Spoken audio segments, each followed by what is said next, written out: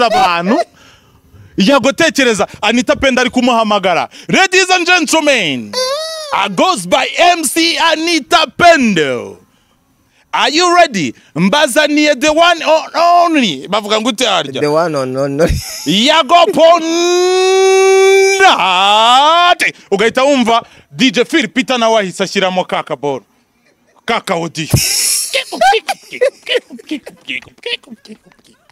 yago ugahita umubona kuri stage. Hatashya nacika umutwe. Aba bantu bagiye banyegera nkabaha imiti. Akaza stage yitera amazi.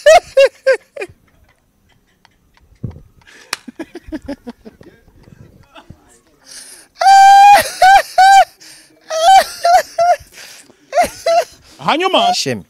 Shemi fata shemi na yago utange awadi w'indirimbo imwe ntabwo umukunda ubwo shemi ntabwo umunsi uriya mwana yakoze indirimbo iba virusi indirimbo imwe irakugenda ikakugira icyamamare ku isi hose. Nibyo bamuvuga ngo mufite abasesenguzi b'abanyeshuri. Ubu se uriya mugore waririmbye Jerusalema uzi iyihe ndirimbo ye yindi nose aka kanya ntirirwa atwara ibikombe hirya no muri amerika kuri Rema. arabitwara ejo bundi kigali yarayitwaye muri tre- indirimbo imwe ariko ifatika. Apana gusora iriya mifiririzo ya yago. Tujye kuri ku marubumu ari hano mu rwanda. Ah maribumu yo noneho ni igitangaza. Alibumu zari za kera. Umuhanzi arasohora alibumu y'indirimbo cumi n'ebyiri ukaburaho indirimbo n'imwe ukunda. Juno yasohoye alibumu mbwira indirimbo wakunzeho cyakoze bruce melody yaramutabaye na kenny solo bamuha igitangaza niyo yonyine iriho. Mbwira ipi ya kenny solo iherutse gusohoka indirimbo wakunzeho ariko ziriho fata ziriho. Strong than before niyo nakunzeho ariko urumva ko iriho nakubwira uburyo rikoda zacu zari agafone none akangaka aka kanya tukaba twicaye mu bintu biri amajoro menshi digital. tutaryama kamera ya mbere mu gihugu iri kuri 3D mikoro ya mbere ifite sound irenze mu gihugu iri kuri 3D ariko ibyo byose twabigezeho igihe twarikodingishaga utu telefone ya Aziago ni brand nini cyane. Numvaga ko igihe cyose azashyira azakenera abahanzi bamufasha nshobora kuzabona big names. Urugero? Nk'ahantu yari yariteretse. Nta muntu utabizi ko yago akubwira ngo ngewe showbiz y'i- y'i Bugande nyifite mu maboko. Numvaga kuri iyi iyi hariho afishe umuhanzi w'Umugande. ntukamvugiremo kandi nzakwirukana. Ntukavugire muri Na- uyu nguyu yaraje tufata ku mavuta noneho wahiye watorombeye ntabwo tugukira. Wenda ati nkunda statement izafata ku mavuta urakoze cyane. Ati you are professional. Abandi nabo hari abanyita imbobo bro cyangwa umusazi. Njyewe icyo wanyita cyose cya mbere ni uko ewana mama fata nafata isahani iba yuzuyeho inyama n'ifi. Ni ukurisha inkoko ifi. Ahandi akabonye ngo ubu se shafata ku mavuta ngo ubu Bruce Melody ngo buriya ko yahuye na Sagi ngo ari kuvuga iki buriya ko avuga uru- ururimi rumwe nk'imbwa?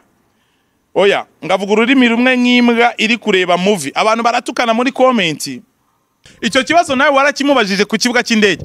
Uramubaza melody ko abantu bashidikanya kuri 155 am urabivugaho iki? Rebo yawe ahita aguseka arabatema ariko ibyo bintu ubifiteho ikihe kibazo? K'iyo rebo atari iyawe. Reka mbivuge nsubizemo filime ko yarakigusubije mbona ni igikuta ubuze ahantu gifatira. Izo nkuru ibyo bintu bavuga ko njye mfata ku mavuta mbarimbira. Ni- ibi? Ko batajya gusibisha siza rishive ziri ku gihe? Erega wowe none se rega nawe ibyo ngibyo reka tubigire ku ruhande. umeze nka wa muntu ushinyagurira baza google baza google rega dushimire his excellence dushimire perezida w'igihugu. Yaduhaye 4G n'ubu ngubu 5G yatangiye kuza hamwe namwe mu kanya. Soon as possible wana kuri 3D turaba turi kuri 5 dufite internet yahagije umva ni ni suri amakuru akaza. Tuzamutora twongere tumutore. Eh. Nabonye na Neri ngabo nawe ya ndirimbo ye yitwa ngo nkwe. Eh yayihinduye agiye kuyikorera umusaza. Ngo twamutoye bamureba.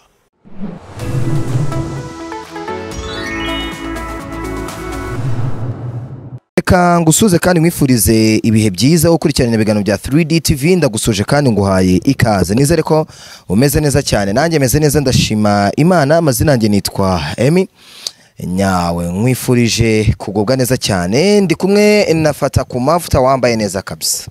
Asante sana. Louis Vuitton hejuru ikoboyi nziza imeze neza cyane. Ya deshire n'umupira mwiza cyane. Fata wambaye neza kabisa kabisa kabisa kabisa. asante sana urakoze cyane. Ahubwo inama nshaka kukugisha mfite rinete ebyiri nabuze. Decision Iyo ndi bukorane iya mbere ni inambaye reka noneho turebe iya kabiri. Eh n'amaso abantu bayareba. Abantu benshi bajya banyandira ariko ufata ku mavuta ko utajya ukora ikiganiro utambaye ufite amaso y'inyana. Eh na yo bayarebe. Eh. hanyuma aririya n'ingi swag irimo fresh. Ariko iyo ni sawa iyo ni sawa imeze neza. Cyangwa zose tuzihe iminota? Eh, zose tuzihe iminota mu kanya wambare ikirahure cya vewiti ubundi wambare lamborghini twikomereze. Reka tubanze dutangirane escarade Eh, turabasuje rero tunabahaye ikaze kuri 3D TV televiziyo imwe rukumbi ikubitira ibyamamare ku mbuga ikubuye. Turayoboye abandi bagakurikira hanyuma tugarutse kubamenamo ikiziba kiki cy'ibyishimo cyane. Fata uyu munsi rero hari iki? Tugiye kuvuga kuki? Eh, ni igiki wahishurira ku bantu ku bintu tugiye kuganiraho? Uyu munsi nabwo ndongeye ndakwihaye wese. Mm. Eh, ngaraguza agati unjyane hirya no hino untemo mu buryo bushoboka twumva ikiri buvemo.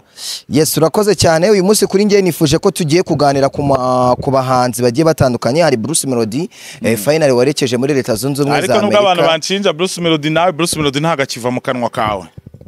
None se rega umuhanzi ukora ibintu bizima ugomba kumuvuga. Ah, okay. Ni niyo mpamvu n'uyu munsi tugiye kuvuga kuri Bitangiye ku- kuza nawe se? Eh, reka ubwo- yes tugiye kugaruka kuri yago pondati nawe ufite kumurika alubumu yise suwejo kandi nanone nifuje ko turi buze kuganira kuri dani nanone nawe ufite kuba ah, yamurika alubumu turaza nanone kugaruka by'umwihariko ku wibye telefone ya debeni uri kumva ko na debeni nawe n'ubundi ntago eh, Ben ikiganiro cy'uyu munsi ndakimutuye ni na yo mpamvu nambaye uyu mupira. Eh, eh. nategereje ko uremarika ariko wagiye ukanura ugakoresha ikiganiro ukanuye nta kintu uri kubonaho. Ubwo nta kintu ubona kuri uyu mupira namubonye tayiga be ubu ntabwo uri kumubona The Ben. Eh namubonye ese the ben uramwambaye? Ubu se nambaye The Ben ngewe mwa bamwita Tiger. eh tayiga b nawe turaza kumugarukaho. Turaza kugaruka ku yibye Eh, telefone ya telefone aka kanya arimo aridegembya eh ari kwidegenza Eh, ariko mu Burundi duhite tunabasuhuza abadukunda baherereye hariya mu gihugu cy'abaturanyi. Babyita kwidegembya ariko Vestine na Dorcas nabo bagiye kujyayo. Nabo bagiye kujyayo tibagirwa muneza nawe ko ariyo mu kwa cumi n'abiri. Reka nawe ikubwiye bujumbura tuyifite gutya ku birebana na showbiz. Yes rero abo bose ariko nanone mu kanwa k'abantu ntabwo hari gutinda kuvuga yuko uwitwa hari abagabo batatu cyangwa se babiri bashobora kuba bazi irengero rya telefone ya Ben nubwo babeshyeye cyangwa se nubwo bavuze yuko ndaza kubigarukaho Eh. ndetse ndaza no kubagira inama bo ubwabo abari abacuti ba The Ben ko bari bicaye kuri iriya tebo bagomba kwikoresha akanama hagati yabo telefone ikagaruka kuko nibo telefone irimo yego kuko eh, uwibwe cyangwa se uwo bavuze ko yibye telefone ya Ben we aravuga ngo ni gute nahawe lifuti nkakubitirwa i Burundi Mm. uwampaye lifuti akajya gutanga sitetimenti ndetse n'abamukubise ntabwo byabanyuze nibo bakiri ndetse kumugendaho n'uwankubise Eh. akajya gutanga sitetimenti kandi mu mategeko bitemewe yuko umuntu mufitanye ikibazo cyangwa mufitanye isano muri iyo adatanga- ntabwo yigeze avuga iby'izo ndwano. Ntiyabivuze. Ubwo rero naho ikiganiro cyanjye reka reka nkubwire njyewe mi uh, ntabwo uwafunze ari ufungura. Kandi mu kinyarwanda baravuga ngo wumvishe urega. Uregwa atara wakwica uregwa atarahagera. Wumvishe urega wahita ufunga cyangwa ukamanura cyangwa ukagira nabi uregwa atarahagera ngo aze yisobanure. Gaze yisobanure. Abantu rero bakangisha gufungisha abantu. Ariko amategeko arakora. Nibyo umuntu ashobora kugutesha umwanya. N'umuntu ashobora kugu- kugushyiraho ibyo byaha bikagufata ariko buriya agati katewe n'imana. Gahunda zako zimenywa n'imana. Niba koko igihe maze mu itangazamakuru ibyo nubatse byose aka kanya ni bwo ari bwo bigiye kugira gute kuba success. Gu- bitangiye kuba success. Igihe nangiye kugeza ukuguru muri iyo nsinzi ya kariyeri yanjye y'itangazamakuru nabwo hari ibibazo. Urabizi emi turaza kwaruka kuri ibyo kuri iyo telefone yibwe n'uwayibye n'ukuntu bamufunze n'ukuntu yafunguwe. Ariko utibagirwa ko ni benshi batugendaho. Benshi kano kanya bavuga ngo tuzashyirwa fata ku mavuta nawe afunzwe. Ariko nta kintu ndusha abanyarwanda bose bafunzwe cyangwa bafunzwe kano kanya. Ku buryo ngewe ntafungwa. Icyo ni kimwe. Icya kabiri imyaka mfite iranyemerera kujya mu rukiko. Yaba ari na experience. Nkajya no. kuburana. Ariko ayo mafaranga yagatunze umuryango si ngombwa ngo ujye kuyatanga mu manza. None se ikibazo cyaje ubigenza gute? Malariya yo yaje ugira gute? Urayi- urayiherana ku kirago iyo uyiheranye ku kirago irakwica. Okay, urashaka gushimangira ko ibyo njya mvuga ko bamwe mu bibita ko bazi showbiz kandi baba muri showbiz. Imaze kubarenga. Showbiz imaze kubarenga. Impamvu imaze kubarenga ni uko biyita agasaza mu gakino. Ariko kano kanya bakaba batari kugendera kuri revo n'umuvuduko showbiz imaze kugeraho. Uramuvuga akantu agahita ajya kukureka uramuvuga akantu agahita agutumaho abantu igihumbi ngo bari ngo ndagufungisha ndamufungisha. Nyamara ibyo bintu tuvuga byandagaye n'ubundi kuri social media. Niba badashaka ko bivugwa bazasibisha amarishive y'ibyo bintu biriho. Cyangwa bavuge ngo turasezeye muri showbiz cyangwa bavuga ngo turasezeye muri showbiz genda kano kanya muri interinete wandikemo muyoboke n'umugore we. Urebe ibintu interinete iri buguhe. Nta kintu gishyashya reka tuzana hano. Icyo dukora ni ugusubira muri arshive z'ibyanditse ariko ngo nawe urarengera. Kurengera ni gute?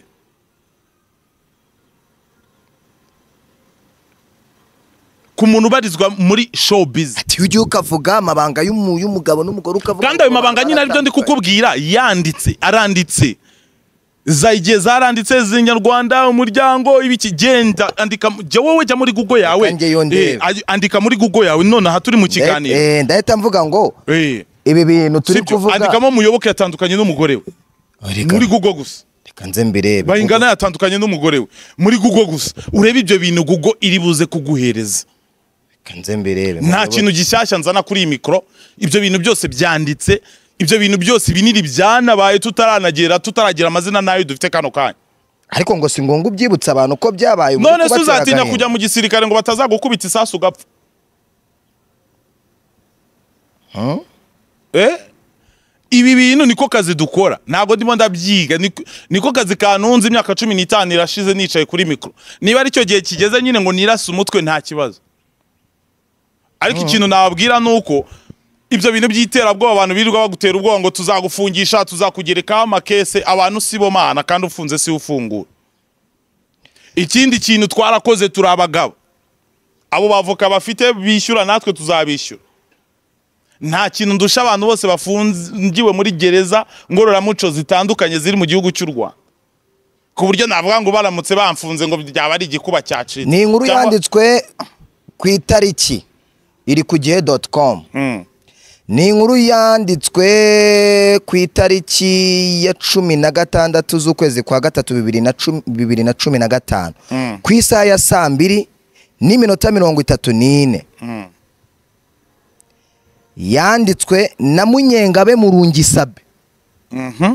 ubu ni umuyobozi wa isimbi tv Eh, iki kinyamakuru cye titire y'inkuru iravuga ngo umugore wa muyoboke yaba yarahukanye imfura yabo ishakirwa undi murezi. Ibyo byihorere ababishaka gusoma iyo nkuru irambuye bayireke. Jya muri google wandikemo bayingana n'umugore we.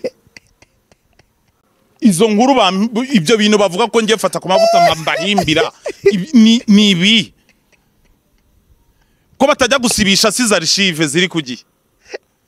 Erega wowe none se rega nawe ibyo ngibyo reka tubigire ku ruhande. Umeze nka wa muntu ushinyagurira baza google baza google rega dushimire his excellence dushimire perezida w'igihugu. Yaduhaye 4G n'ubu ngubu 5G yatangiye kuza hamwe namwe mu kanya. Soon as possible wana kuri 3D turaba turi kuri 5 dufite internet yagije turumva ni ni suri amakuru akaza. En mise mubona wana tuzamutora twongere tumutore. Eh, nabonye na Neri ngabo nawe ya ndirimbo ye yitwa ngo nkwe eh yayihinduye agiye kuyikorera umusaza. Ngo twamutoye bamureba. Ngo none baravuga ngo nkwe oya twakoze amakuru twubaka izina tuzamura industry y'u Rwanda tuyishyira kuri level international. Aka kanya za Trace Awards ziri kubera i Kigali. Aka kanya Grammy Awards igiye kubera i Kigali. U Rwanda na Kigali biri muri kapitali zashyizweho ko zishobora gutoranywamo ko Grammy Awards umunsi izagera muri Afurika ari bwo ishobora kubera mu Rwanda. Narababwiye bano bantu aya mahirwe umukuru w'igihugu agenda do yo kudushakira abashoramari. Batuzanira ibintu bitandukanye muri showbiz nyarwanda. Mwebwe mukabinegirije muzashaka kubyirukankaho byarabasize. Iyo nkuru na yo yanditswe ku itariki ya munani z'ukwezi kwa cyenda bibiri na cumi na gatatu bibiri na cumi na gatatu ngewe nari mari saa saba n'iminota mirongo icyo gihe itatu. sinari nkiririmbira ndi umuhanzi. Davide bayingana agiye gutandukana n'umugore we. Iri ku gihe. Nayo iri ku gihe doti komu yanditswe nande yanditswe nimba ari dayani nimba ari iranka nimba nto se ayo makuru yose basibishije iza arishive njye narababwiye reka nongere nibutse ba basesenguza abanyeshuri banjye banyeshuri banjye beza kandi nkunda. Ikintu mubura ni ukwidokimanta kuri arishive ukajya ahahise hakabasha kukwereka ibyahise ukabifatanya. N'ibyo turimo kano kanya bikabasha kuguha vision y'aho turimo turajya izo nkuru zose zirandagaye. Uyu we we ni imyaka icumi ishize. Ariko abantu barimo baravuga ngo ngiye ngo ndimo ndabandagaza. Mu nkuru zanditswe mu myaka iyo yanditswe mu myaka icumi ishize ya muyoboke tubonye ko yanditswe muri bibiri na cumi na gatanu. Aka kanya uwitwa itaye wacu Bruce Melody gitangaza nabonye rero uri umwe mu banyamakuru bagiye kugira gute. Kumuherekeza agiye muri leta zunze ubumwe za amerika. Mbese hari ikibazo kirimo? Oya, ndaranunguye rega nawe usigaye narabu- mbere- na- nari nabonye warigometse ariko nabonye nawe uri uyu ntabwo ari ukwigomeka reka reka Eh, nkubwire. ese muri B na B wowe ubahe ko nabonye Lucky yamanitse amaboko akavuga ati ubu natwe dufite timu yitwa d. Davis D. Oya 3d ibyo by'amadi.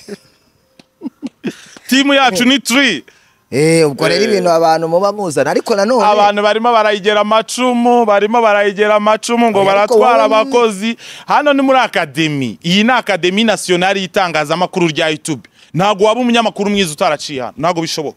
Soon as possible turabamenamo n'undi. Ntabwo wamwumvishe. Ririya jwi urarizi. Soon as possible arabamenamo ikiziba cy'ibyishimo. Hari abayobozi ngo ni icyuma. Twebwe Eh, ntabwo du ntabwo twagira ishyari ngo umuntu yaragiye hoya ahubwo ni- icyubahiro cyacu ni achievements. Kuba twebwe tubasha gukora umuntu kano kanya akaba ayoboye igihugu. Kano kanya akaba ari gusinya kontra za mbere mu gihugu. Iyo niyo papasi ya 3D iyo niyo papasi yafata ku mavuta ni ugufasha abantu. Twazamutse nta muntu udufashije abantu bose aba bose birirwa batugendaho batugenzeho guhera iyo myaka. Ndabyibuka muyoboka Alex ashaka kunyukanisha ku- kuri contact iyo story twayigarutseho. Ajya kureba Ryan Manzi. Ngo navuze cari na nini? Ndabyibuka intambara zanjye na bayingana Sun City. Bayingana ashaka kunkubita icupa n'amagambo mabi cyane. Iyo ntambara yakijijwe n'umuntu witwa Safi Madiba arayizi cyane na Rwema ndetse na General Seka.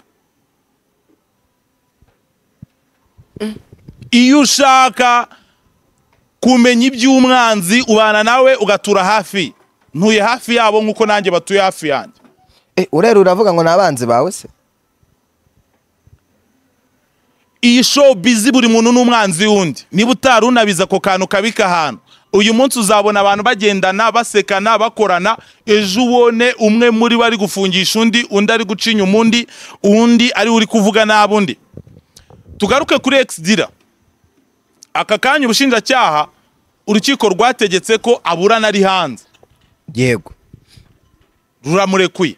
Twabivuze mu kirundi babyita kwitegembya ariko abamushinja kwiba telefone yabafashije mu gihe kirenga imyaka cumi n'itatu. Ngira ngo abantu babonye amafoto atandukanye y'ibihe byiza mu bihe bitandukanye The Ben yagiranye nande Na na Ex Ex Dira. Dira ari amafoto se wabonye ari ay'abafana? Wabonye ari ayo muri concert?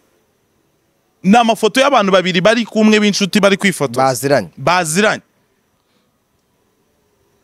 Umuntu promotinze imyaka irenga cumi n'itanu muricaranye muri abantu barenga mirongo itatu habuze telefone bahisemo kuba ari wowe bayigushyira ese urumva ubundi iyo myaka yose mwamaranye barakwemeraga? Nibyo nkubwira. Abo wita inshuti zawe kano kanya mu mitima yabo ntabwo uzi ikintu kirimo kubera ko uramutse ukimenya wowe iyo mikoro wayireka ukigendera ukavuga ati ndabiba hari tekereza ese uwo muntu ugufungisha ngo wibye telefone ye musanzwe muri inshuti ibaze noneho umuturikije nk'amafaranga afatika. Ibaze hari akandi kadiri ibaze hari ikindi kintu mupfuye. Nuko kujyana nya- mu- i rusororo. Rira ni isomo ryiza ry'inshuti zacu muri showbiz. Nta nshuti muri showbiz bro. Ikindi kandi wamenya nta n'umwanzi uhoraho. Yego. Ejo bundi yago yarabivuze ari mu kiganiro muri the chess live ari kumwe na filipita filipita avuze ati ariko nyamara njyewe na yago turi amashumi. Yago aramubwira ati njye ntabwo ndi ishumi yawe. Ahubwo turi abahuje cyangwa tura- tu- tu- tu- turi abasangirangendo muri aka kazi. Iyo ngukeneye uraza nanjye wanyenera nkaza. Ariko mu buzima busanzwe njye nawe ntabwo turi ishumi yago turaza kumugaruka ahubwo turaza kuba tugeze kuri album ye. Reka tubanze tugaruke kuri iyi statement. Hashize iminsi itatu nyikoze kuri instagram yanjye. Yego. Ex dira yafunguwe. Ngo bazagira amahoro ari uko nafata ku mavuta afunzwe. Ayo ni amagambo baganirira kuri za henesi hirya no hino bafata ku madeni iyo bicaye bari kuzinywa. Ariko niyo nafungwa njye narashatse mfite mama fata. Twasezeranye kubana mu bibi n'ibyiza. Hashize igihe kinini turi mu byiza. Ubwo icyo gihe nimfungwa bizaba ari ibibi. Azangemurira kuva ku munsi wa mbere kugeza ku wa nyuma nta. Ntandukanye nabo. Mfite nde? Mama fata. abantu baduheruka kera tukiri ba nyakamwe tukiri imihanda ubu natwe dufite imiryango bro.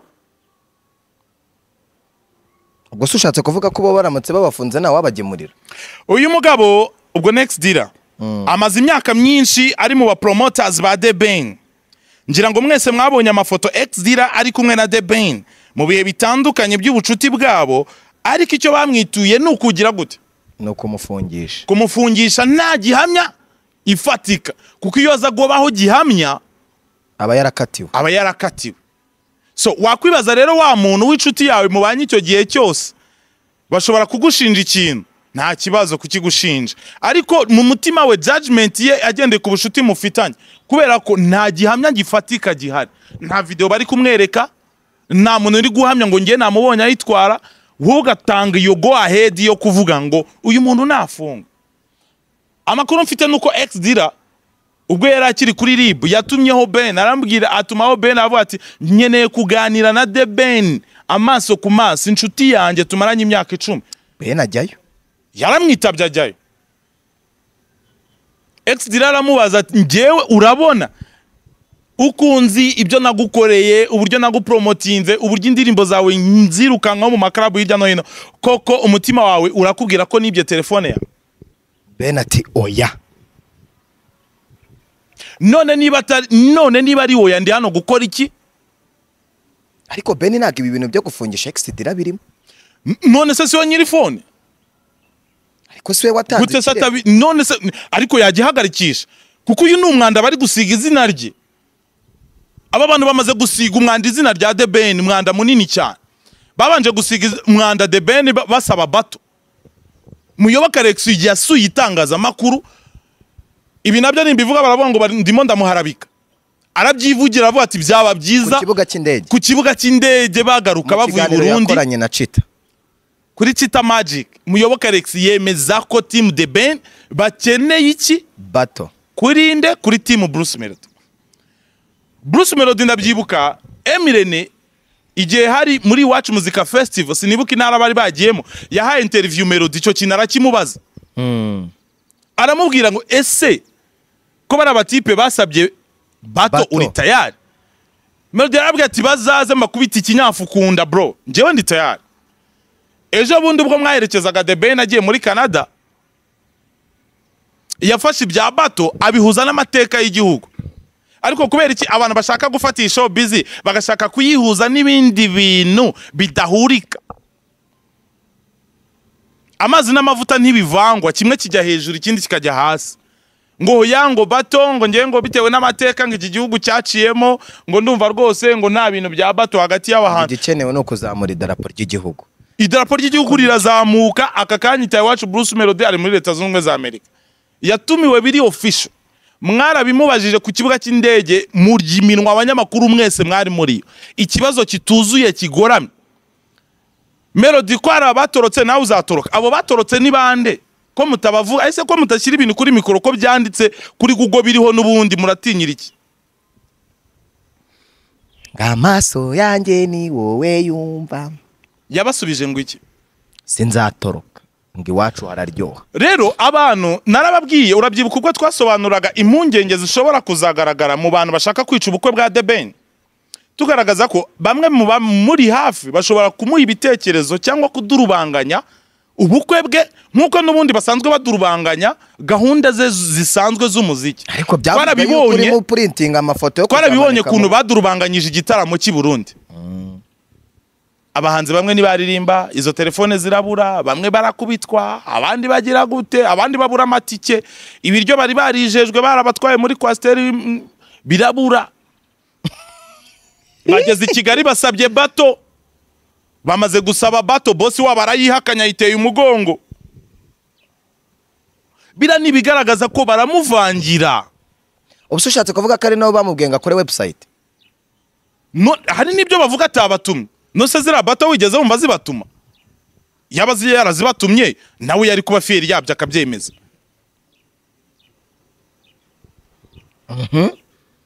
Ariko twebwe turi abakinnyi turi mu kibuga. Gorira efuse ingagi nkuru mu murwa turi muri shampiyona y'u rwanda. Nk'uko fata ku mavuta ari muri shampiyona y'ishobizi nyarwanda. Ni ukuyivamo mvunitse ni ukuyivamo nsezeye ni ukuyivamo bamaye ikarita y'umutuku. Cyangwa ugiye mageragere. Hari ikibazo se nzaba ndi uwa mbere? Urumva se ndusha icyo abantu bagiye. Ibikomere ubu se tugaruke ku bikomerezwa byose biri kurya hari inkoko bimeze neza? Kandi naho rega iyo umuntu agezeyo ubuzima burakomeza. Hari nabo nasuye mbonereho n'umwanya wo gusuhuza abantu bariyo benshi baranadukurikira ndabyibuka nkikora kuri flash tv kuri contact najyaga mbona amamesaje menshi cyane. Hirya no hino rwose saa munani mu masare yaho barwaniraga ko fata ku mavuta bamushyiramo akabo abamenamo ikiziba cy'ibyishimo. Ati hari benshi bashaka kwica ino show bizi bagendeye ku mateka. Amateka y'ibyo bakoze cyangwa y'ibyo bavuze ni byo twagenda rero twubaka show bizi amateka ariko ubundi yavugaga ni ayahe? Ni amateka ya jimmy gatete n'igitego yadutsindiye abagande tukabohereza indege bakarara i kigali. Tukajya muri kane ni amateka y'amavubi tujya muri kane ku nshuro ya mbere. Ni amateka y'uko ari twebwe dufite perezida wa mbere ku isi. Ukunzwe kandi ugezeho w'umujene ese bano bajene ko mbona bashaje barashaje mu bitekerezo. Ubayoboye abakubye imyaka gatanu ariko mu bitekerezo n'umujene emi ndakubwiza ukuri aba bajene mu bitekerezo byabo aba bajene bamaze kugaragaza ubusaza. Birababaje kubona abajene bashaje.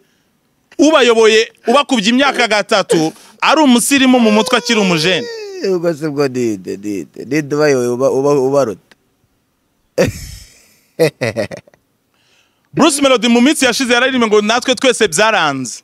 Ariko reka nkubwire ngewe kano kanya ntabwo nyiri kuri iyo revo ahubwo ndamusaba akore remix. Natwe twese byarakunze byaciye mu Rwanda turayoboye aka kanya turayobora abandi bagakurikira.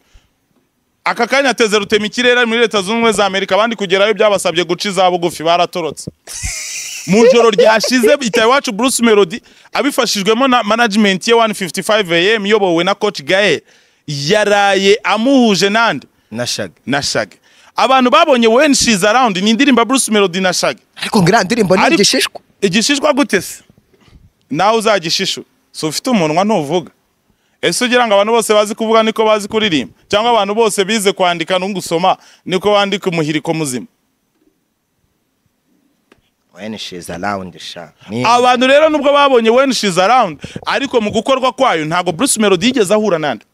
Nashaga abantu bashatse no kubigenderaho bagereranya ya ndirimbo ya Sean Kingston na Tom Cruise bati yabayeho n'ubundi ntibigeze bahura. Project abantu ba trusting process. Process none ahantu igeze nuko Bruce Melody yaraye ahuye nande na Shaggy Eh, ngo bari kuganira imirongo migari. Eh, abantu bamwe bakavuga ati nanone ese ubu eh, eh, hari comment nabonye kuri post yanjye. Reka na zo tuzicemo. Burangiye nkunda kwinjira muri mu- muri muri ntuzi ariko hari ibintu bya Exdira wanjijishije tutarangije. Eh, reka tubanze tubisoze bya exedira nuko twari batu- Eh, nari ngeze ahantu mvuga ngo uyu mugabo amaze imyaka myinshi ari mu promoters ba DBN ngira ngo mwese mwabonye amafoto Exdira ari kumwe na DBN mu bihe bitandukanye by'ubucuti bwabo. Ariko icyo bamwituye ni ukumufungisha. Ibi ngibi twabigarutseho yego. Nahoraga mubwira ko abo twita inshuti ari bo bantu bo kugendera kure muri iyi showbiz yuzuye ibitambo. Ubwo dira yari ari bujumbura yarampamagaye ambwira ibibazo bye na muyoboke Alex ubwo yambazaga ati uyu mugabo ariko yibonamo iki cyatuma asuzugura abantu bose? Ex dira ubwo yari ari burundi ubwo mwancijaga ngo ndi burundi. Ex dira yarampamagaye n'agahinda kenshi njyewe sinanzi ko amaze no guserera na muyoboke njye wabakijije. Arambwira ati fata ku mavuta. Muyoboke Alex yiyumvamo iki cyatuma asuzugura abantu bose turi i burundi? Eh yamucanze urushyi. Ibyo bintu nabyimye agaciro. Ugira ngo ni ni ngira ngo barashaka kunshyira muri duweri zabo nta nubwo nigeze musubiza. Noneho ikintu cyababaje egisidira kuri icyo kintu ni ukuntu ari we winjije. Bahati makaca reka mbikubwire. Arangije aravuga ati ni gute umuntu nafashije kwinjira mu gitaramo? Ari we waza gutanga sitetimenti kumbi makaca yagiye mu Burundi nta na 30 mili afite yo kwinjira. 30 mili Burundi fra Burundi. 30 mili fra Burundi ni ibihumbi umunani by'u Rwanda. Nicyo kintu avuga ngo cyaramubabaje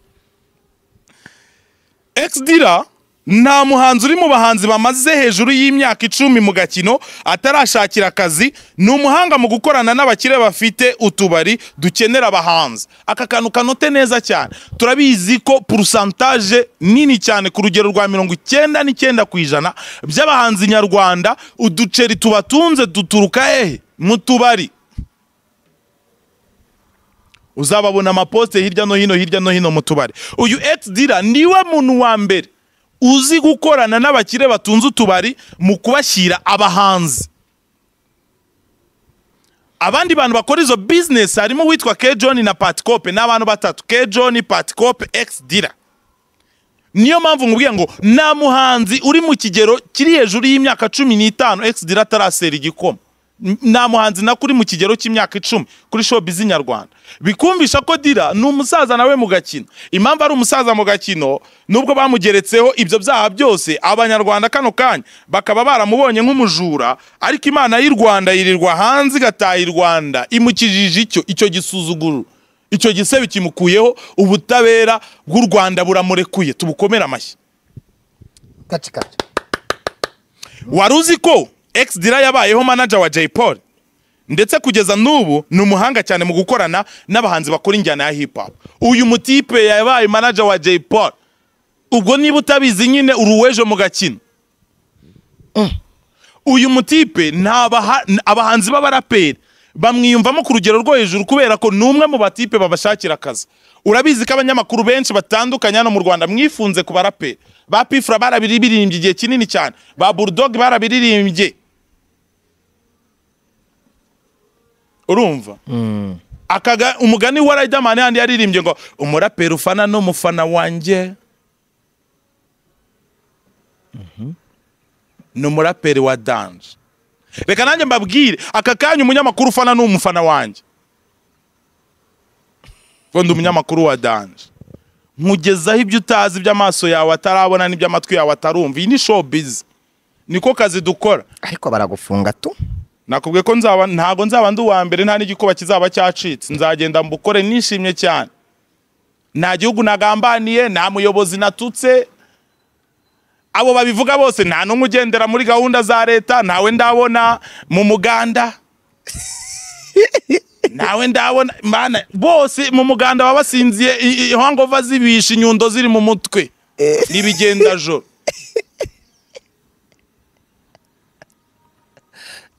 ariko ugatungurwa no kubona abo umaze igihe wita inshuti ari bo bakugambaniye ugafungwa. Tom close yarabiririmbye ngo si beza. Si beza si ndayibatuye iyo ndirimbo abantu mwese muri showbiz. Si beza ibashimisha bagere ku mutima. Nakagombye kuba mbatuye ndakwanga ya Bruce Melody ariko aho ngaho naba mbishyize ku mutima. Nta sheni idacika komera muvandimwe dira. Ndabizi kariya ni akadiri gato cyane mu madiri ukora. Ntucike intege ahubwo bigutera imbaraga zo gukomeza kuba imirimbanyi ya showbiz nyarwanda. Ndabizi neza ko iyi mihanda izatwibuka. Neri ngabo yarabiririmbye afatanyije na fireman. Ngo iyi mihanda izatwibuka. Twirirwa tubamenamo ikiziba cy'ibyishimo batangiye batwita imbogo. bitangira batwita abajura. Bigeraho imana ituremeye imirimo. Idukoza ikara ku munwa harashya. Imana iduha umuryango turabyara turatunganirwa n'ubu ngubu tubyicayemo. Aka kanya abantu bashaka kumena imbehe turimo bagendeye ku mateka. Iyakaremye nigira gute? Ni Ariko hanyuma rero iyi statement nakoreye gira ifite notabene cyangwa se no- note bien cyangwa icyitonderwa niba aba bantu koko bareze dira bakanamufungisha bashaka telefone ya The Ben. Ni bake mu nshuti ze bari ba- bicaranye. Izo nshuti nizirangiza zikoresha akanama zishakemo iriya fone kuko nibo bayibye hagati yabo muri bo harimo igisambo. Buretse ko ngewe nta nubwo nemera ko iyo fone yibwe. Amakuru y'i Burundi avuga ko niyo fone ishobora kuba yaraburiye hehe muri hoteli. Barayiburiye muri hoteli bakabyibuka bari mu gitara Eh, yaraje se mu gitaramo atayifite. Nakuwe ko uyu munsi mfite gahunda yo guhindura look. Kuryohereza abakiriya. Karibu Eh, kiriya. karibu Eh, dukomeze ikiganiro. Ushingira ku cyo uvuga ko telefoni ya beni itibwe njyewe ntabwo ndi umugenzacyaha sindi n'umushinjacyaha Eh. ijya kubibaza ibyo bintu. Reka twigarukire rero ku bindi wavuze. Cyangwa tubanze turangizanye na melody kugira dukomereze rimwe. reka tubanze turangize aho naharangije nta kindi. Aho naharangije dira. kandi wari ugiye gusoma comment? Wari ugiye gusoma comment turiho? Oya udukomenti comment turiho. comment cyagihe cya gihe. Nari ngiye gusoma comment ziri kuri post ahubwo ya Bruce Melody. Eh. ivuga kuntu yahuye na Shaggy. Nanditse ngo Coach Gael yarayahuje Bruce Melody na Shaggy Eh. basangira ifunguro rya nijoro mu cyongereza baryita gute ifunguro rya nijoro? Baryita dina abantu bajya bagushidikanyaho nawe ngo ntago wasomye kandi babwiye. Ako kantu bari guhita bagucishamo ijisho. Coach Gael yaraye ahuje Bruce Melody na Shaggy. Basangira ifunguro rya nijoro ndetse baraza no kujyana kuri stage mu gitaramo Munyakazi yatumiwemo muri Amerika muri leta ya Texas mu mujyi wa Dallas. Mbibutsa ko nubwo Bruce Melody yakoranye indirimbo na Shaggy bari batarabonana imbona nkubone bikaba ari ubwa mbere bahuye. Amakuru aturuka muri 155 am ya coach Gael avuga ko nyuma yo gukorana indirimbo na Shaggy bari kwitegura gufata amashusho y'indi ndirimbo itayi iwacu yakoranye n'undi muhanzi mpuzamahanga ku isi hose. Akaba ari na yo mpamvu muri timu bajyanye muri leta zunze ubumwe za amerika bajyanye uwitwa Sasha Vibes. Uyu ni umudirector ukomeye cyane guturuka mu gihugu cy'i Bugande ndetse akaba ari muri bamwe bakoze indirimbo ya Shaggy na Bruce Melody when she's around kuri party ya Bruce Melody ari amashusho ya Bruce Melody. Yego. Hanyuma kuri party ya Shaggy byakozwe na label ye yitwa Disney Group Music. Yego. Noneho rero nakubwiye ko nakunze udukomenti turi twajeho kuri iyi post.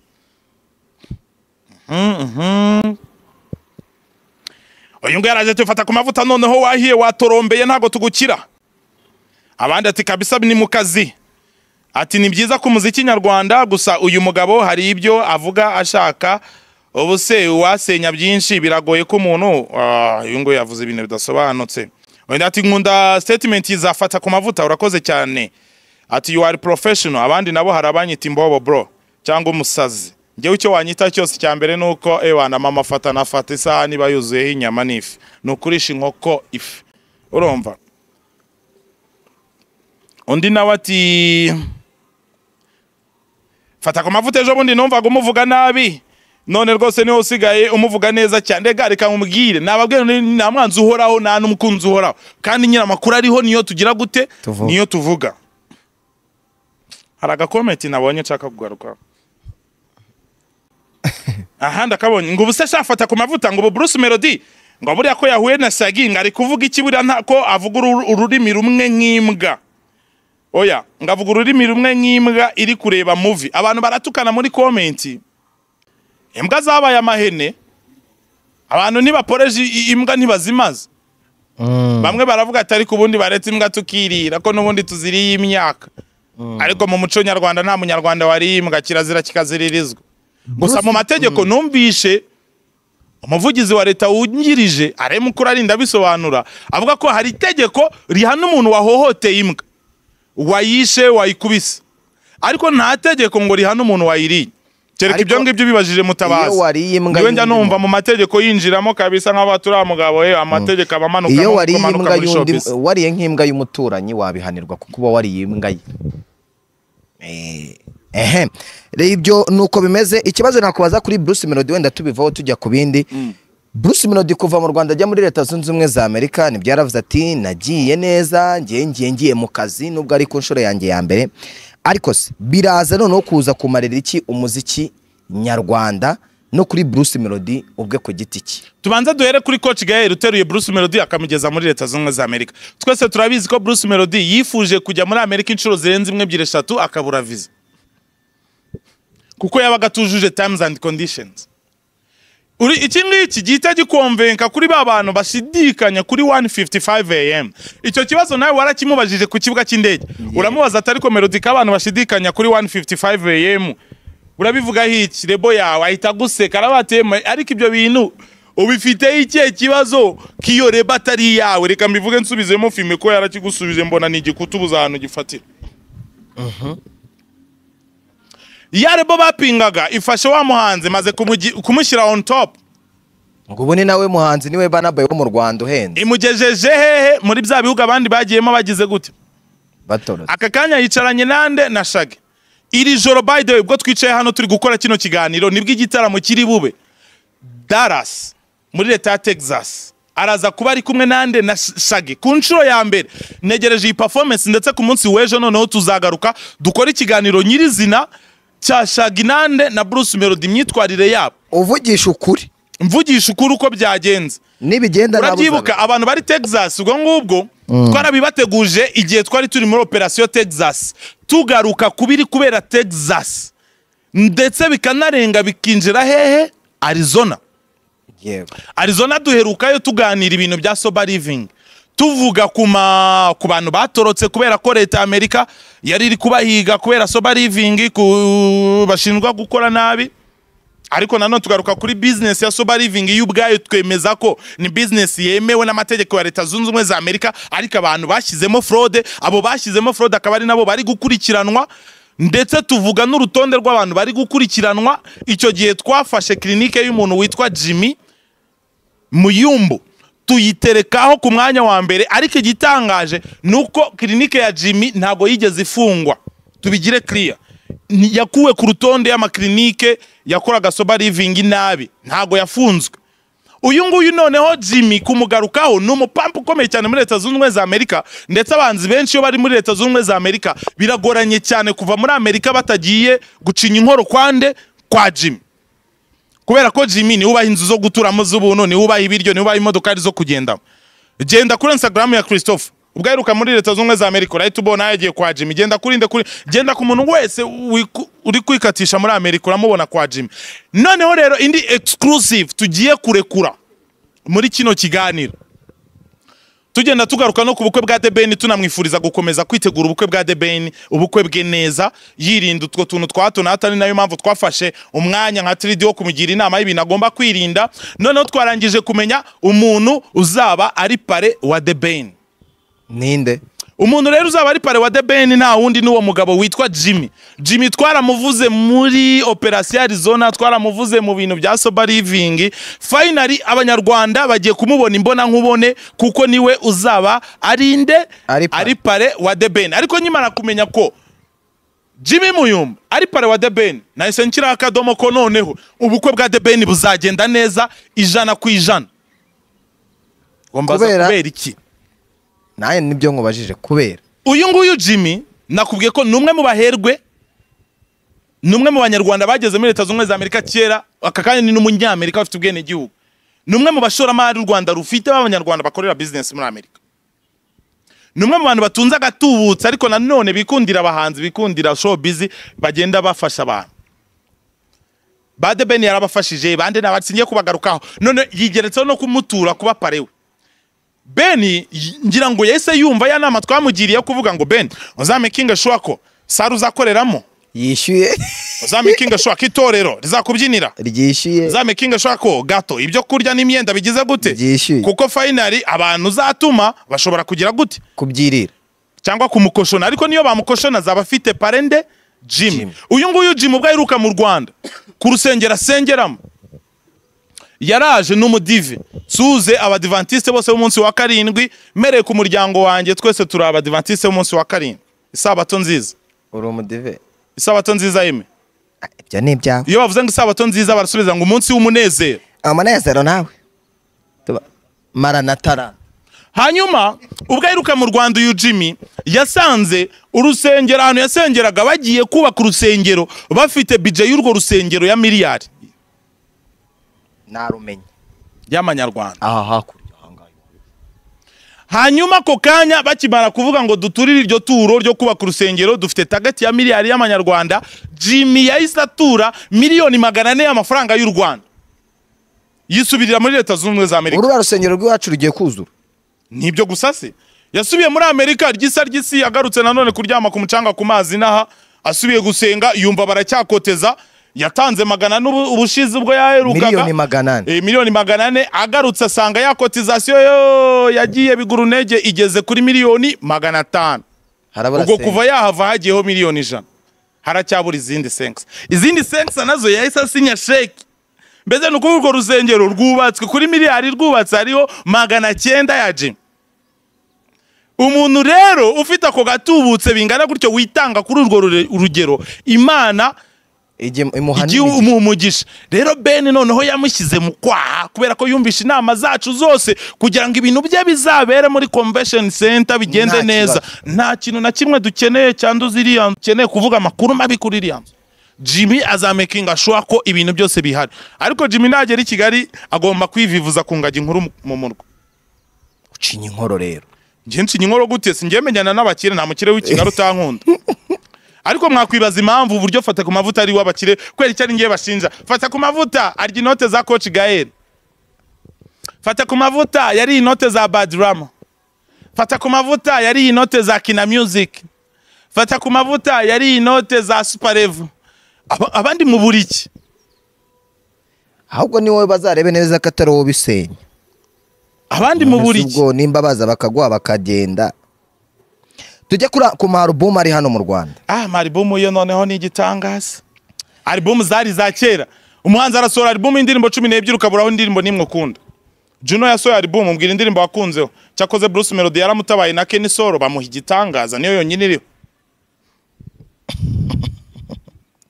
Mm? tugaruke ku zindi cyangwa tubanze tuganire ku zo ugiye kumbaza tubanze tuganire ku zo oh, ngiye kukubaza kuko ni mbwira amarubumu ipi ya kenny solo iherutse gusohoka indirimbo wakunzeho. Ariko ziriho fata ziriho. Strong than before niyo nakunzeho. Ariko urumva akubwira uburyo rikoda zacu zari agafone.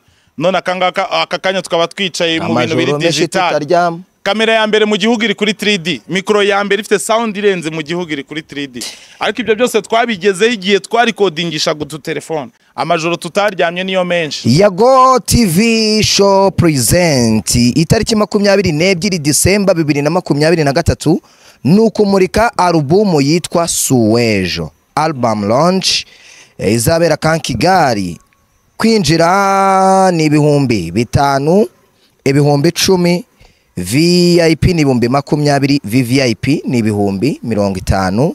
Ahita aterekaho kode abantu bazishyiriraho akanyenyeri mirongo irindwi na kabiri karindwi akanyenyeri mirongo itanu akanyenyeri kabiri akanyenyeri cumi na gatanu urwego ugashyiraho amafaranga bitewe n'aho uzinjirira. Ahita ashyiraho amarembo azafungurwa ku isaha ya saa kumi. Ni alubumu iriho abahanzi bakurikira Double J mu gihugu cy'u Burundi nibo bazamufasha Revinox w'umugande uririmba indirimbo zo guhimbaza Imana. MC Anita Pendo uyu we bigeze kubavugaho utuntu twinshi ngira ngo urabyibuka. Hakaza MC DJ Phil Peter akaba n'umunyamakuru wa Isibo. Hakaza Bushari ni umunyarwanda hakaza Aline Gahongayire. Aline Gahongayire azaza ku rubyiniro havuyeho Bushari. Nategereje ko ushyiraho akadomo ubwo uraza kumbwira hakaza umuhanzi witwa niyo bosco hakaza Chris Easy hakaza kiriku akil. Reka tubanze dushime.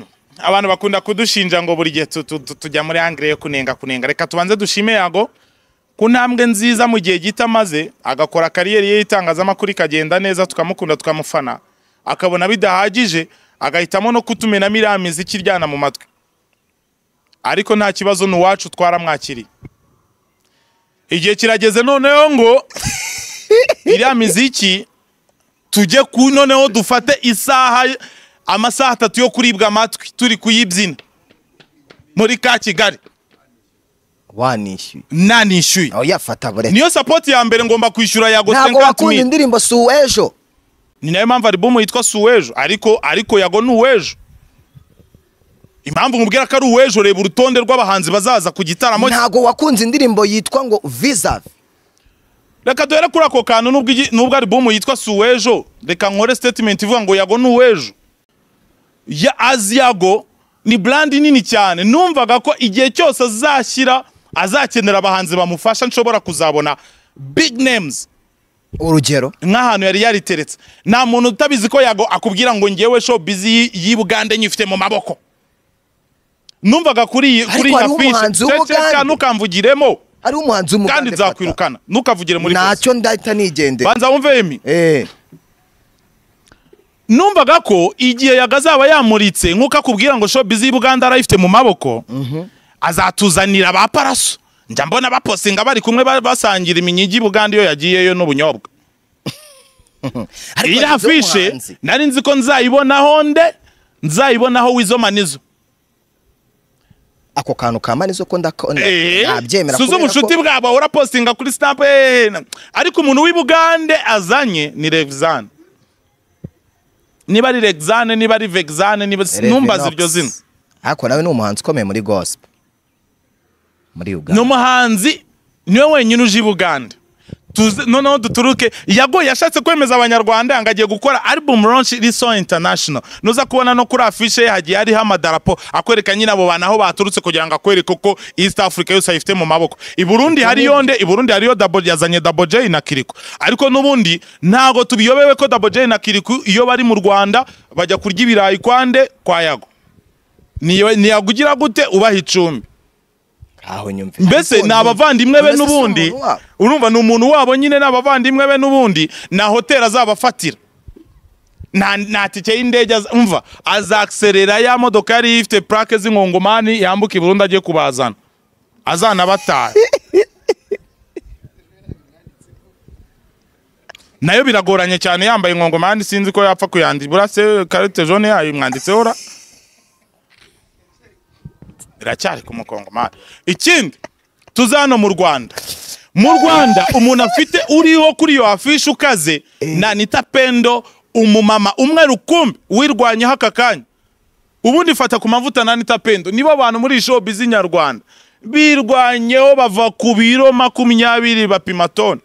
Kugeza ubwo twafashe umwanzuro wo kongera tugakora tayi uzarebe agatayi anita ahagaze muri iyi minsi. Eh, umuntu ariko nanone ngiye gusaba anita na yago ikintu kimwe. Baravuzwe.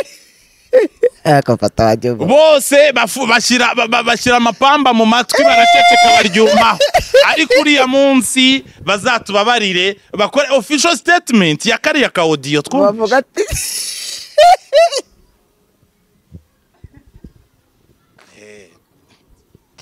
bakanonosore muri iriya album launch bazaba badutwikiye tuzishima. Niyo niyo ntwaro yonyine yagafite yashimisha abantu. Yagotekereza anita penda ari kumuhamagara. Ladies and gentlemen goes by mc anita pendo.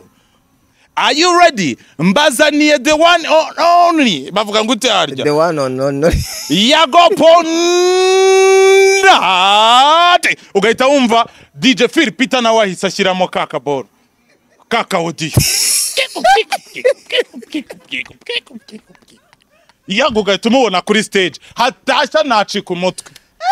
Aba bantu bagiye banyegera nkabaha imiti. Akaza stage yitera amazi.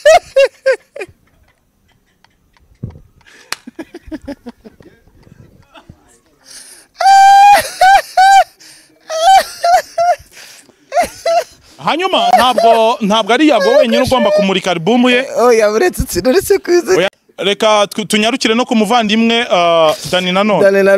Ndashimira abanyarwanda muri rusange ukuntu bakiriye dani nanone. Ngira ngo murabyibuka dani nanone ubwo twakoze media tour. Nituye dani nanone dani nanone nizere ko ngewe nta deni nkurimo nuko nawe nta deni undimo yes yes naryo nabwiye abanyarwanda ko dani nanone Mm. by the way tugarutse kuri profile ya dani nanone ni umuhanzi munini cyane kubera ko ni umuhanzi watangiye umuziki muri za bibiri na gatandatu.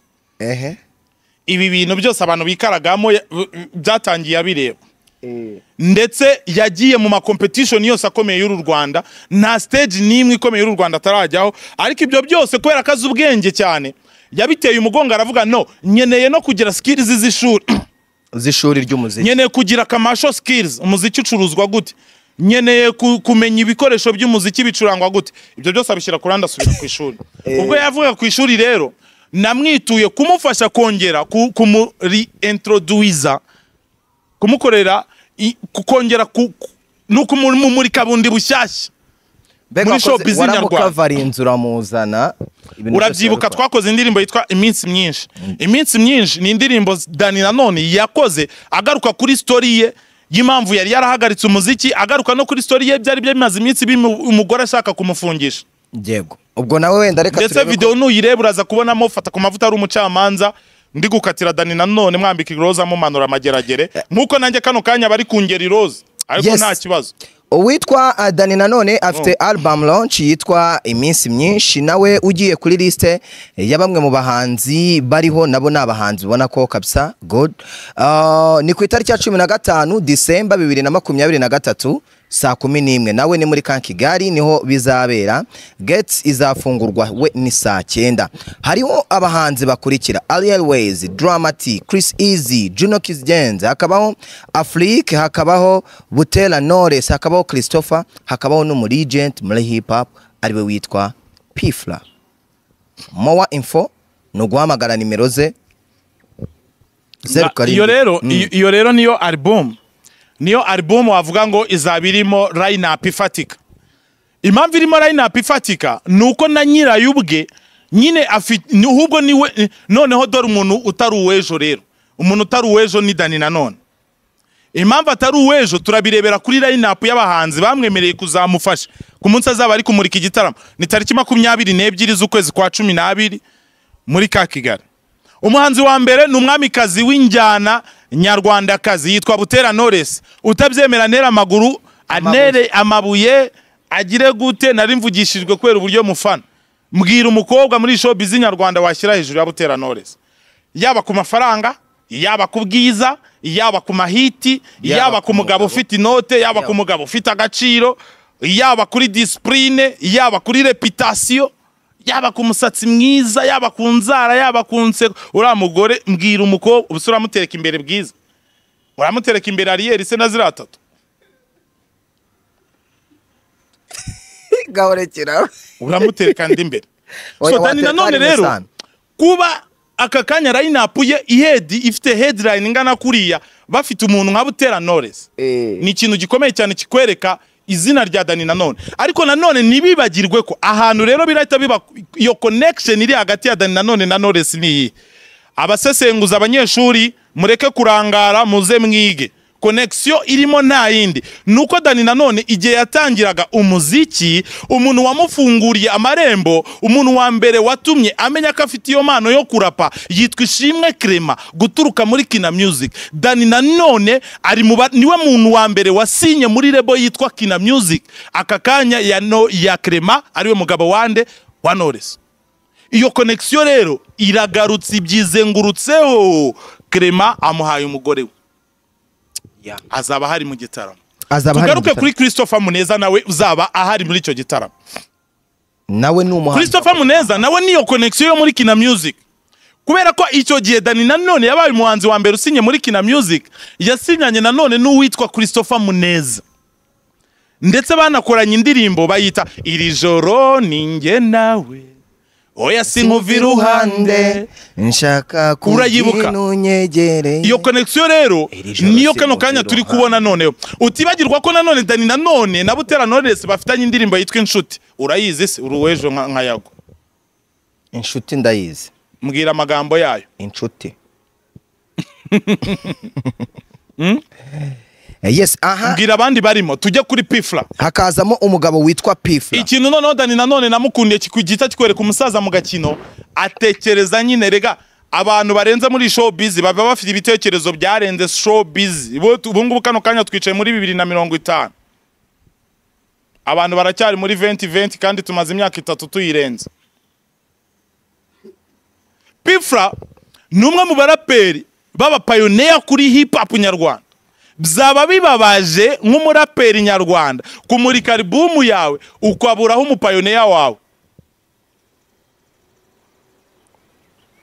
Ngira ngo abantu baribuka ubwo Riderman aheruka kuronshinga albumu ye muri Petit Stade icyo gihe Pfla yaramaze iminsi afunzwe. Bamurekuye. Riderman nawe yamuzanye kuri stage. Ubwo Pfla afashe umwanzuro wo kuzana n'umukobwa witwa Eri Poeta. Yamwambitse nk'umwamikazi. Ibintu byabereye hariya Petit Stade ibyabereye Las Vegas bisigara Las Vegas. Abo twari turi kumwe na yo icyo gihe barabyibuka. Ni igihe cyiza rero noneho abantu bya bindi bivugisha ngo Pfla yarazimye kugira ngo babone ubukana n'ubusha ubukana bwe. Abantu bibwira ko kuba uri hiti kano kanya ari ugukora indirimbo nka kirisizi buri, cyumweru. Buri cyumweru bana buri cyumweru iki buri cyumweru iki buri oya. Umuregende amara n'imyaka itanu adasohoye indirimbo ariko iyo agiye mu gitaramo urabibona. Reka pifura kuri ubwo azaba ari kuri iyo stage uzabona ingufu za hip hop nyarwanda uko zimeze. Ariko nanone dani nanone nakubwiye kubera ko ni umutakitisiye w'umutekinisiye kuri shop Yes. nyarwanda kuri line up ye nanone harimo umukobwa witwa Riel Ways utibagirwa ubwo twarwanaga na comeback ya Deni nanone tugahera ku ndirimbo yitwa iminsi myinshi ndetse na album akaba ariko izaba yitwa iminsi myinshi. Album launch. Nyuma yaho hakurikiyeho indirimbo ya Dani nanone na Riel Ways. Ni indirimbo abanyarwanda bakunze kano kanya na n'ubu bakiri kuririmba. Iyo ndirimbo yitwa gute? Nzajya nguta mu bihano buri kanya. Se ko ntayibuka nasara nasara ni igihe cyiza rero cyo kugira ngo dani nanone azaririmbane nande na butera knowless bakorane ya nshuti ahita akubitana na christopher bakorane iri joro ninjye nawe ahita akubitana na riel ways nasara Ma- ni ibintu bisukuye ni ibintu wumva ko biri mu bwenge. Yes ahita akubitaho umuhanzi witwa Juno Kizigenza. Juno Kizigenza nawe ni ikirura gikomeye cyane arakubwira ngo iyi mihanda turayifite bugwate. Hakazaho umurundi umurundi kabisa uca yitwa Dramati. Dramati rero nawe amaze kumera nka wa muceri wo mu biryogo ar- arasabagiye arandagaye. Ejo urabona Dramati na bwiza ngo Dramati kwa Dani ngo Dramati kwa Yago ngo Dramati kwa Ndego yewe. hari n'umuhanzi ejo wahoze ari kumbwira ngo yari afitanye korabo na Dramati ariko yabaye ayisubitse kubera ko yabonye yaranda- yarandagaye nk'umuceri wo mu biryogo ariko kuba urabizi mu biryogo urugi hano bacuruza umuceri hano bacuruza umuceri hano n'umuceri hano n'umuceri iyo ugiye mu gitega ni amata na fanta bikonje amata na fanta bikonje. Ukibaza se ibi bintu ni ibiki? Gitega banywa icyayi se mu gitega banywa amabuye. Ntuzaba he iwacu. Ariko aha ni sawa. Gutekereza the way ukivuga mu gitega reka nongere nshimire nyakubahwa perezida wa repubulika. Yadutayemo imihanda Imihanda- bari kuyikora kabisa. Imihanda cumi n'ibiri izamuka iva ku mashuri ya gitega uzamuka uva mejo de jene uzamuka uva restoration church kimisagara uwinjirira hano california mu biryogo. Ni ukuvuga ewana ubu ngubu ngiye ku eh, ni kaburimbo gusa. His excellence warakoze kutwibuka mu gitega ukatumenamo kaburimbo natwe icyo tuzakwitura bibiri na makumyabiri na kane itinze kuza. Igikumwe ubwo igipfunsi nyuma ya Dramati hahita haza Chris Easy chris easy uwavuga ko kano kanya ari we muhanzi ukunzwe kandi ugezweho mu bapkamingi ntabwo Wow. yaba abeshya. Yego. Kubera ko Chris Easy ubundi Chris Easy ariko uzi ko ka- kano kanya ngewe Chris reka nkutemo ahantu mu gihano emi Mm. Chris Easy na Christopher. Babasesengura gute? Aka kanya tuvugana kuri hit oya Easy ni umuntu mubi cyane. Ubu aka kanya hari ikintu Christopher yazabwira Easy oya Easy ni umuntu mubi cyane ikintu abikubwira ibitaramo byose bibaye hano iwacu. Hanyuma rero ikigaruka ikigaruka kuri Dani nanone wibuke ko ntabwo yari yasohora iki? Tracklist urutonde rw'indirimbo rugomba kuba ruri kuri iyo album. Kubera ko amaze gusohora iminsi myinshi ari na yo yitiriye album yasohoye nasara ahita akurikizaho Confirm. Eh? Ya- Eh, confirm ni eshatu reka dutegereze izindi. Kandi izo zose uko ari eshatu zimaze kuba hit. So reka turebe. Rero ikindi kintu nanone hakabaho gikomeye n'undi muhanzi umwe. Mm. Afrique Eh, Afrique nawe afite n'akaririmbo keza nakunze video yako. By the way. Ariko nanone kitwa kitwa? Eshadi. Yewe Shadi Ariko nanone. hari umuntu ambwiye ariko fata kujya uvuga ngo uri umuhanzi kandi iyo uririmbye mba numva uririmba eh nk'igikona bose niba muritse alubumu we waratubeshye iyawe. Ngo Fata roje Imyaka ikaba ibaye ingahe? ni noza umutungo wanjye none se ko wabwiye abantu ko ugiye kuronshinga alubumu bakaguha amafaranga? ikintu kiba kiruhije no utayasohora. kurikodinga indirimbo. None watangaje as nazirikodinze nishaka izantwara imyaka mirongo itanu. Ni- wendi isho- nishaka izasohorwe n'umuhungu wanjye nk'uko nababwiye ngo nta muhanzi nzongera kumanaginga mfite desebusiyo y'umutima wanjye wari ugiye guturika. Urumva? Hmm. nzongera kumanaginga umuhanzi ndi kumanaginga umuhungu wanjye yitwa 20 cyangwa ndi kumanaginga umukobwa wanjye yitwa fata. Fata abantu bajya bamwishyiraho bakagira ngo niwe muhungu kubera yitwa fata. Ariko ni umukobwa. Ikintu kuri izi album zombi zihuriyeho imwe izabanza ku wa gatandatu indi ikurikireho ku wundi wa gatandatu. Yego. Ariko nanone harimo ikibazo kigira kiti uyu muhanzi witwa Chris Easy azaririmba hombi. Hari ikibazo se? Ntabwo amatariki ari amwe ikintu nanone zitandukaniyeho izi alubumu muri launch yabo umwe yumva Eh. imwe ni iy'umuregendi indi ni iy'umwapkamingi artist. Ndetse kugira ngo ubyemere mu mawadi yose ari ndi kubona yandagaye hano i kigali yagari gutanga ahantu hose ubuceri ewan ubu ngubu nta muntu wamutwara upcoming artist. Ntibiba. Baba namwibye. ubu se arusha shami? Shemi. Shemi fata shemi na yago utange awadi w'indirimbo imwe ntabwo umukunda ubwo shemi ntabwo umunsi Eh, uriya mwana yakoze indirimbo iba virusi indirimbo imwe irakugenda ikakugira icyamamare ku isi hose. Nibyo bamuvuga ngo mufite abasesenguzi b'abanyeshuri. Ubu se uriya mugore waririmbye Jerusalem uzi iyihe ndirimbo ye yindi? Nose aka kanya ntiyirirwa atwara ibikombe hirya no muri amerika kuri Rema. arabitwara Ra- randana arabitwara ejo bundi kigali yarayitwaye muri indirimbo imwe ariko ifatika. Apana gusora iriya mifiririzo ya yago itarimo ikintu ariko yago yigiriye inama nabonye yagarutse mu itangazamakuru kubera ko ikintu yago buriya yibeshye abantu bamukunze bamukundiye itangazamakuru. Itangazamakuru ryakagombye kuba amababa y'umuziki we.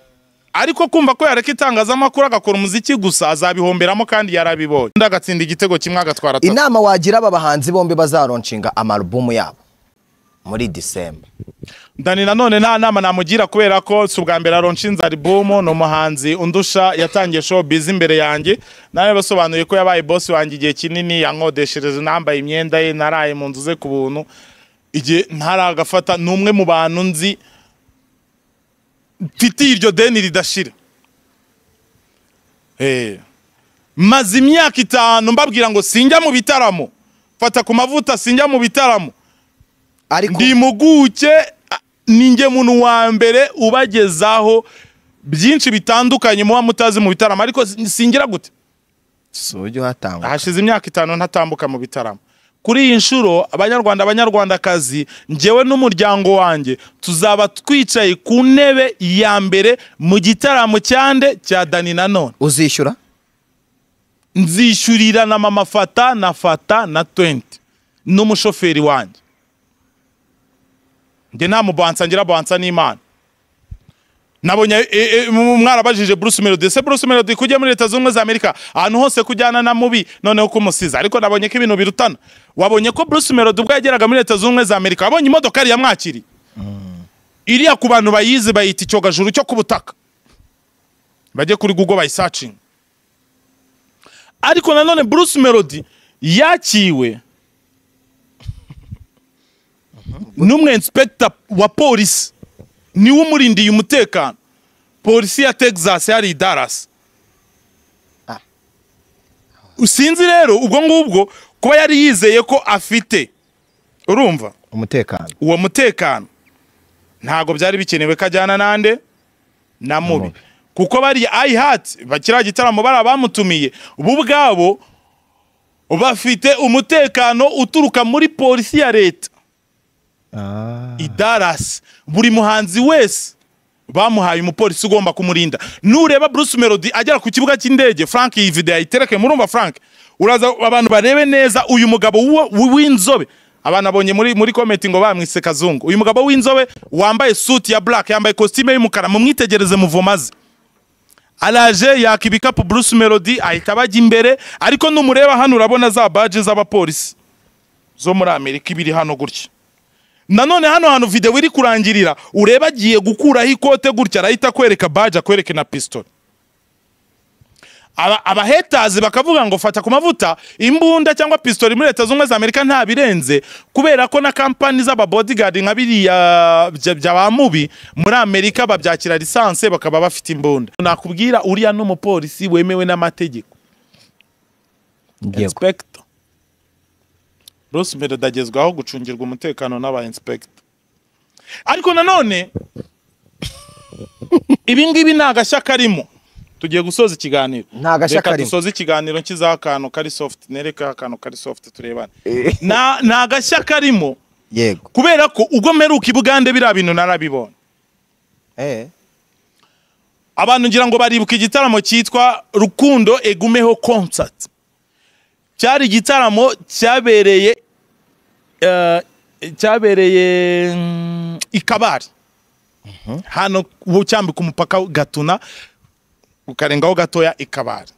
Kiba ki- ki- icyo gitaramo cyari cyateguwe n'umugabo i bugande bita next president. Next president ubwo ni genero muhoza. Niyo wari wateguye icyo gitaramo. Agitegura mu buryo bwo kwizihiza no kwishimira ifungurwa ry'umupaka wa gatuna ryari rimaze igihe umupaka wari umaze igihe ufunzwe nta buhahirane hagati y'u rwanda n'ubugande. Ibyo ntabwo tubigarukaho twese turabizi. Abashaka kubyinjiramo bajye muri google bandikemo umupaka iki n'iki inkuru zihita ziza zirisukiranye. Icyo gihe rero ubwo uwo mupaka wongeraga gufungurwa ku mugaragaro habayeho igitaramo cyo kwizihiza no kwishimira ibyo bintu. Nibwo rero hatumiwe abagabo bahagarariye showbiz nyarwanda. Of course wa mbere yari fata ku mavuta. Nari ndi kumwe na tonto masamba. Ejo bundi waramubonye yari yambaye neza muri canada. The ben yashatse kurira muri canada biranga. Warabibonye muri kiriya gitaramo bari bisajya ni youth concert ni ibiki? Urumva? Eh. Masamba ni we wari uyoboye delegasiyo yacu. Iyo delegasiyo kandi yari irimo ba king james. Bamuyoboke bari bahari. yari irimo Kensol hanyuma impamvu nkubwira ngo kuri- kuba urumanza ukarindwa n'imbunda ntabwo ari ibintu bishyashya kuri njyewe nabibonye i bugande. Icyo gihe nabibonye ku mugabo witwa baby cool. Baby cool ariko ni we wari wahawe ikiraka noneho cyo gutegura iyo konseri ni we wari bosi wacu twese. Baby cool icyo gihe yari arinzwe n'abapolisi bane bose bafite akaguru k'inkoko cyangwa imbunda ntoya. Ariko hano mu rwanda urabizi ko ibyo bintu bitabaho ntabwo bishoboka. Na- kubera ko impamvu inganururo twese turayizi ntabwo twirirwa tuyigarukaho. Nituvuga baby cool ejo bundi yari ari i kigali. Eh yara ko utanyibukije shapeti baby cool mu kuza i kigali abantu ntabwo bamenye ikintu cyazanye baby cool i kigali. Ariko baby cool we na konde boy cyangwa harmonize baje baje kuri gahunda imwe. Abakire bo mu rwanda byarambabaje cyane. Kubona bari kutwima amafaranga bakayaha abahanzi bo hanze. Ariko nanone niba abahanzi b'i kigali nta kintu babereka ntabwo bindeba. Buriya bu- ubukwe bajemo ni ubwa musaza w'umumama w'inshuti yanjye. Baje rero mu bukwe bw'umukire witwa frank. Ndamusuje aho aherereye hose. Uyu nguyu frank twamugarutseho igihe twasobanuraga cya gicupuri cya blabasi ya bruce melody. Mbabwira ngo umuntu ufite blabasi ya nyayo 100% niba mushaka kureba blabasi yuzuye muzarebe blabasi ya bosi wa tekino yitwa frank. Ibiparitse hariya kuri etikota mu mujyi kuri tekino uzayihabona. Frank rero ni we wari washingiye. Yego. Afite umu- umu- umu- umuhungu w'umupilote reka nze ndebe amazina y'abageni nabo tubahe sharawuti tubasuje kabisa. Kansuze tina mu- ko washatse se batagushingira? Oya hari igihe hari ukuntu babigenza. Mm, erega abakire ntabwo ari ngombwa ngo baguhe abagore. Mm, bagukubita ku kintu cyitwa ati fata sha. Mm. eh tina rero nizere ko ameze neza. Bari bashingiye uwitwa rishari na everine bazagira urugo ruhire bazabyare hungu na kobwa. Hanyuma rero muri ubu bukwe bwa frank yari yashingiye abana be rishari na everine yahisemo gutumira abahanzi babiri. Uwa mbere aza ari baby cool. Mbibutsa ko baby cool umuvugizi wa rebo ye yitwa gangmer gagamer gagamer gagamer entertainment. Rebo yitwa gagamer entertainment. Umuvugizi w'iyo rebo ya baby cool abarizwa mu rwanda. Akaba yitwa dr. Kintu. Akaba ari we byaciyeho iyo gahunda. Icyo gihe tujya ni bugande muri iyo konseri ya muhozi byaciye muri kintu. Kintu rero akaba ari umuvugizi wa gagamere ya cool akaba ari bo bazanye cool bamuzanye muri ubwo bukwe. Ndetse aka kanya cool afite n'indirimbo yitwa question nshyashya. Abantu bajye kuyireba rwose batereho ijisho. Ariko nanone ubwo bukwe bwagombaga kuririmbwamo umugabo umwe rukumbi ukunzwe ugezweho uzwi ko akunda akazi mu rwanda yitwa munyakazi. Niwe wagombaga kuburirimbamo. Kubera ko uwo mugore wari uwo mukobwa wari washyingiwe witwa Everine akunda munyakazi gupfa n'umugabo we agakunda baby call noneho umugabo we agakunda baby cool. Ariko munyakazi biza guhurirana nuko yari afite itike yerekeza muri leta z'ubumwe za amerika agiye guhura na shagi na biriya bitaramo bagiyemo na shagi noneho bruce melody ahita ababwira ati ariko kugira ngo nanjye mbereke ko rwose ntabatereranye reka mbahe ubufasha bwo kubashakira undi muntu uri kuri levo yanjye mbakubita umujama wanje. Niwe wahise aba connection yande ya harmonize. Harmonize arya inote gute zici ari bruce melody umuhaye akazi. Bruce melody asigaye aha akazi harmonize. Harmonize aza mu rwanda muri yo mu- mu- muri ubwo bukwe. Eh, mu na rinakomeye amafoto arahari video zirahari turaziterekamo abantu babirebe. Noneho rero ni gutyo. Konde boy uri uribaza inote zatumye harmonize aza ku munsi we wo gusohora albumu ye ya kane. Afite albumu yitwa visit bongo yagombaga gusohoka ku munsi w'ubwo bukwe yari yajemo i kigali. Yaremye ibyo bintu arabijugunya aza muri ubwo bukwe. Uribaza amafaranga frank yamuhaye? Yasohoye albumu ari i kigali. Iyi albumu yitwa visit bongo ni albumu ya kane ya konde boy. Iyi albumu iriho indirimbo ya bruce melody yitwa zanzibar. Aho konde boy yafatanyije na bruce melody ku ndirimbo yabo yitwa zanzibar indirimbo cumi n'ebyiri ku mwanya wa munani urasangaho zanzibar ni indirimbo ya harmonize afatanyije nande na bruce melody. Indirimbo igihe yasohokaga twarayisobanuye tubabwira ko impamvu harmonize uh, yayishyizemo ingufu ari uko abayobozi bo muri tanzania uhereye kuri suhuru hassan nyakubahwa perezida wa tanzania ayikunda byo gupfa cyane ko ari inshuti magara ya harmonize. Harmonize nawe agira igikundiro ariko nanone leta ya tanzania by'umwihariko noneho zanzibar kirakirwa na cyo hari ukuntu kigenga ukwabyo gifite gahunda yo gupromotinga campaign bagiye kwita visit zanzibar. Visit zanzibar rero basabye harmonize kubakorera indirimbo yayo abakorera iriya ndirimbo yitwa zanzibar. Aribwo atangira kuri- akuririmbira akubwira ngo have you been? In zanzibar. Wigeze utemberera zanzibar. Ariko nanone nubwo hari iyo visit zanzibar leta ya zanzibar igiye gushyiraho nka campaign. Noneho konde boy we yabizingiye muri alibumu abyita visit bongo. Visit bongo bongo ni nk'uko wakumva bollywood. Bollywood ni industry ya sinema muri nigeria. Ni nk'uko wakumva hollywood ni industry ya sinema muri leta zunze ubumwe za amerika. Industry y'umuziki rero muri tanzania yitwa bongo. Ni nayo mpamvu yitwa flavor bongo. Ni nayo mpamvu uyu mutipe album ye yitwa visit bongo. Oh. iyacu yitwa gute? Twasigaye inyuma muri byose. Industry yacu yitwa gute iya sinema bigeze kuyita hollywood baranaripromotinga ariko ubu ryarazimye. Iyacu yitwa visit lib. Ni muzika nyarwanda. Iri kwicwa bayimereye nabi fata ku mavuta ari kwica muzika nyarwanda. Kuko hano mu wacu iyo umuvuze ahita akujyana ku visitinga lib. Reka dusuhuze umuvugizi wa wa rib yitwa murangira thierry. Ni umwe mu bagabo bakora akazi ke neza cyane kominikasiyo ye iri hejuru cyane. Ubu turi no muri gahunda ya tunyweresi tunyweresi abantu barara banywa. E kenshi abantu barara banywa barara banikopesha buriya ni bambura yes rero fata umwanya wari wampaye. Ndizera ko uh, urarangiye kabisa. Reka ngushimire ngushimire eh, ku busesenguzi bwawe ukoze kuri am, amalubumu yombi n'ibyo usobanuye abantu benshi ndatekereza eh, babyumvishe. Mbasaba abantu mugende kuri youtube channel yitwa the focus ubundi murebeho uh, ibintu baba- babagenera. Hariho udu stories eh, tw'amafilimi ubundi bigende neza cyane. Fata nizere ko uh, ugiye gusoza umwaka neza amahoro muri gorira mumeze mute? Muri gorira tumeze neza ah, dufite umukino ukomeye ku wa gatandatu by the way. Dufite umukino ukomeye cyane ah, ndetse mbonereho n'umwanya. Uyu mupira nubwo nakubwiye ngo uriho tayiga ntabwo nawambaye kubera tayiga uyu mupira nawambaye kugira ngo mpe felicitasiyo umugabo witwa kensi. Ikipe ye yitwa gasogi abayizi bayizi nk'urubambyi ingwe uru ni urubambyi nambaye. Urubambyi ngo ejo bundi rwafashe ikipe ya musanze iyoboye shampiyona y'u rwanda rurayigaragura rurizamura kuri city tower rugeze hejuru rurarekurira turika ruyikubita ibitego bibiri ku busa. Musanze yatashye idateye mu mu zamu na rimwe. Kenisi aravuga ati nta nkoko yo mu cyaro itorera mu mujyi. Nanjye nkibaza ngo ariko ubundi musanze yageze ku mwanya wa mbere gute? Ndabishimangira rero kuri uyu wa gatandatu ingagi nkuru mu murwa gorira efusi turaba twagiye gukina n'izindi ngagi bene wacu. Ubwo ni bakuru bacu kwa kwitonda garampa musanze ku wa gatandatu gorira nitayikura ku mwanya wa mbere. Ubwo nzaba ntari umuvugizi wa gorira ako kantu gasubiremo.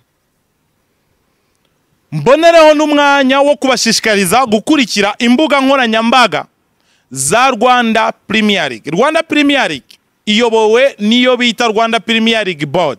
Iyi board niyo itegura ikanashyiraho uburyo imikinire imibereho n'uburyo iyi shampiyona y'u rwanda igomba kubaho. Ni umwaka wayo wa mbere abantu badukurikire ku mbuga nkoranyambaga kuri youtube twitwa rwanda premier league kuri ni, ni rwanda league hanyuma kuri instagram ni rwanda akadomo premier akadomo league. Aho ngaho iyo uhageze uhasanga amakuru yose ya shampiyona y'u rwanda. Aka kanya afata ku mavuta nakubwiye ngo mfite brand nabaye nk'imodokari ya rari. Ndi umuvugizi wa shampiyona y'u rwanda. Nkugezaho fictures za shampiyona z'u rwanda. Ndi umuvugizi wa gorilla fc aka kanya mpagarariye forza number one, number one website sport betting. Aka kanya mpagarariye hoteli yitwa derita resort hotel iherereye ku nkengero z'ikiyaga cya kivu hari i karongi. Aka kanya ndi brand ambassador wa kampani icuruza amamodokari yitwa gorilla motors. Aka kanya ndi umuvugizi wa kampani yitwa savi. Savi tour and travel agents. Savi dutembereza abantu yaba mu rwanda no hanze yarwo yaba mu kirere ku butaka no mu mazi. Ejo bundi dufite savi tuzakora tuwa itembereza abantu nyungwe. Tugiye muri nyungwe tuvuye mu kagera. Next tuzajya noneho gusura ingagi. Nzabajyana kwa bakuru banjye ngiye kubabereka. Emi inzara mfite ni iyihe mu by'ukuri? Ukaba umuyobozi wa 3D nkaba umuyobozi wa 3D brand zimaze kumbana nyinshi maze kuba nk'imodokari ya rari ni amahirwe ni ugushimira imana. None wasesengura ngo ufite inzara. Ni ugushimira imana imana imwe rukumbi niyo ibizi aheza hacu. Ariko twese icyo twifuza ni uko uru ruganda ruva ku itafari ryari ririho akagerekwaho irindi tafari cyane ko his excellence yabidufashijemo ariko utuzanira ibintu bikomeye. Nakubwiye ngo Trace Award yaraje mu Rwanda barayikerensa bazayifuza. Yarabasize ejo bundi Grammy Award izaza ejo bundi BET izaza n'izindi n'izindi n'izindi n'izindi ejo bundi tugiye kwakira mondiale y'abavetera ku nshuro yayo ya mbere irabera i kigali. Stade amahoro uri kubibona yuzuye barangije gushyiramo amasikirini visit rwanda ingagi nkuru ndimo ndacamo. Ubu nizo teste barimo barakora. Eh, hari akantu nari nibagiye kukubaza wenda dusoza nubwo twe twasoje.